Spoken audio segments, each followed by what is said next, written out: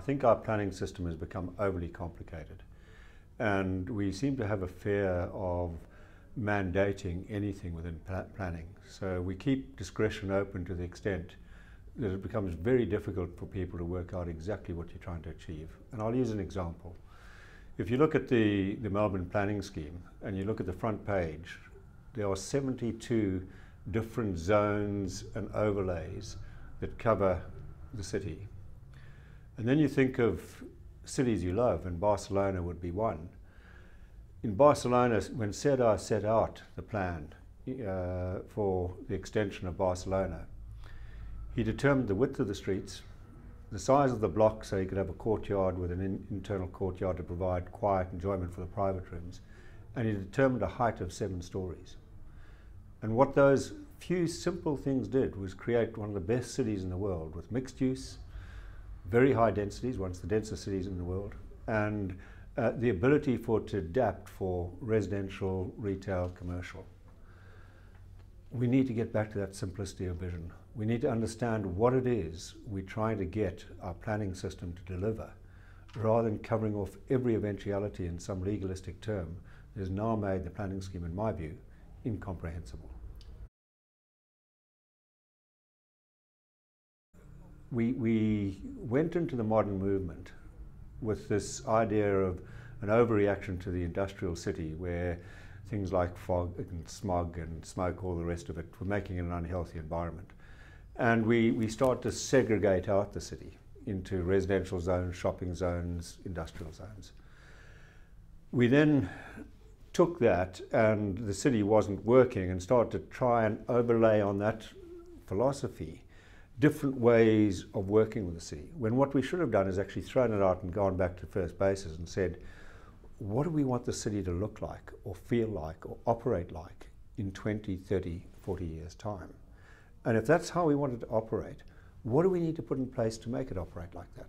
So if you take an example in Melbourne, if the areas of the city that you want to preserve, historic areas like East Melbourne, North Melbourne, parts of Carlton, that's a completely set, a different set of criteria to areas that you might want to become your key development areas. Yet we've lumped the whole lot in together. And we've just made it very difficult, I think, for the normal person to understand the outcome that we're expecting from this planning scheme. And I think the planners, in many cases, have lost that vision as well of what they expect this to look like. They're just covering every eventuality. There are five characteristics that make good cities. Uh, there's density. I think you need a certain number of people in a certain area to get vibrancy. Mixed use, uh, uh, because that enables you to share your infrastructure. Um, so what the uses at night can replicate, you know, the parking used by day, and therefore you don't have to replicate it. You need uh, good connectivity. You need to be able to walk there, ride there, catch public transport to it. You need a high quality public realm, and this is the key the space outside buildings is really where we live out our public life. And if we think about that more and say, how do we achieve great public spaces? And the largest component of public space in the city are the roads or the streets. They make up 80% of the public space. So in a way, if we design a good street, we design a good city. And if you stop and think about that, how difficult is that? We want, you know, reasonable footpaths, easy to walk on, shade in, summer, you know, maybe sun in winter if we're lucky enough, uh, activity along the street that actually feeds that vibrancy back onto the street. So a high quality public realm is important. But then the other one is local character. So every place needs to be of that place, not a replication of some other city that you've seen elsewhere. If every city became generic, there'd be no point in travelling. So we try to capture the uniqueness of each individual place. So if you take those five things and say those, those are the things that we want to achieve in a good city, and then you look at your location and say, given the topography or you know its local conditions, what would make a good city here? The, the rules and parameters around that are not difficult to uh, define, in my view. I think it's bigger than housing. Um, I think we need to uh, rethink the way we're growing our metro cities. Uh, and let me just explain that. So, most of the capitals, capital cities of Australia, uh, if you look at a, a, study done by Griffith University called the Vampire Study, and it was about vulnerability to mortgage and petrol prices, what it showed between 2001 and 2006 was an increasing population on the fringe of our cities that was suffering under those two uh, characteristics. So, in a way, our cities are dividing out. We're getting this area in the middle of our cities that has the, the occupants of that, that part of the city have access to just about everything good public transport, schools, all, all those social facilities, etc. On the fringe, anybody wanting to access that mostly has to climb into a car. And any family out there mostly has to have two cars. And so you're getting this divide in the cities. So that then replicates itself in housing. So in today's newspaper, um, excitement that we, we're again selling more blocks on the fringe than we're selling in the central city. Uh, uh, and uh, you sort of ask the question, have you asked yourself what that actually means? It's not the cost of the house and the land package. It's the lost time and uh, driving to work. It's the productivity, the double car ownership, the lack of access to facilities, loss of productivity that comes from that locational thing. So in many cases, you'd be better off having an apartment in the city without having to own two cars and with access to just about everything than having this thing of owning a house in the fringe for the sake of owning a house. The value of that house is mostly going to go down, not up. Uh, so I think we've got a housing crisis mainly because we're replicating a model that mostly was last productive in about uh, you know the late late 1970s, uh, and then the city just got too big, and it's now counterproductive. The one thing I do is say, no further. If you haven't subdivided land already for um, development, stop now and come back in on yourself.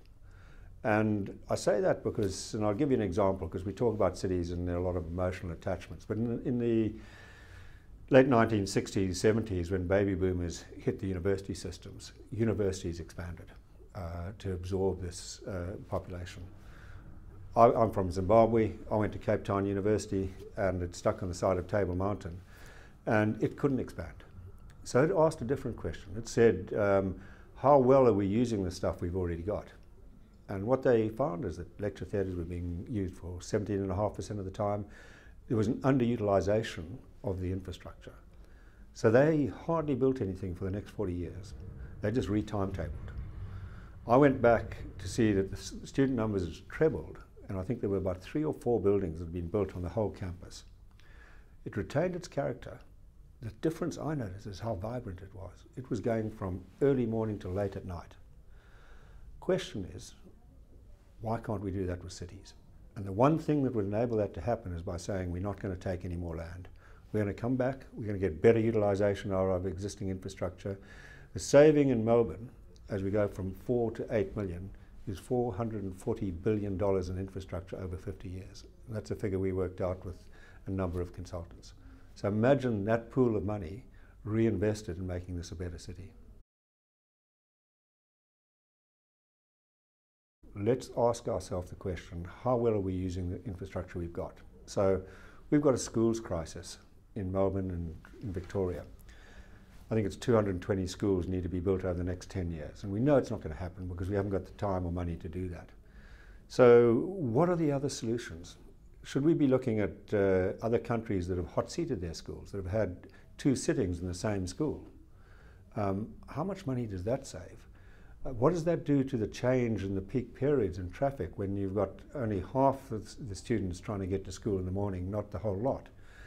What does that do to how families plan, plan their working day, where you could share that load mostly equitably amongst two partners who could work different times of the day?